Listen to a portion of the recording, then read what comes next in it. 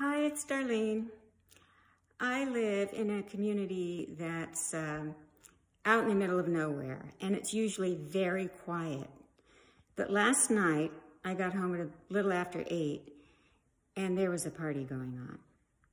I glanced around and I couldn't tell where the noise was coming from. I went out and stood in the middle of the cul-de-sac in the street where I live and looked all around and I couldn't tell where they were. They're so good at hiding. I thought of calling the sheriff's department, disturbing the peace, but they wouldn't come out here that late at night. They're in bed by 8.30.